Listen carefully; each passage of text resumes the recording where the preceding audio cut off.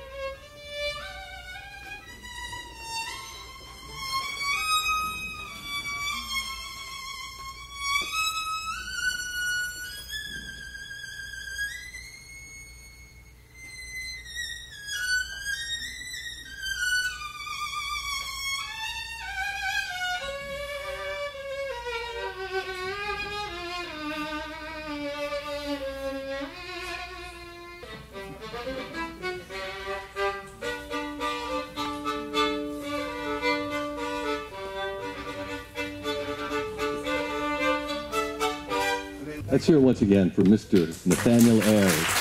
Incredible.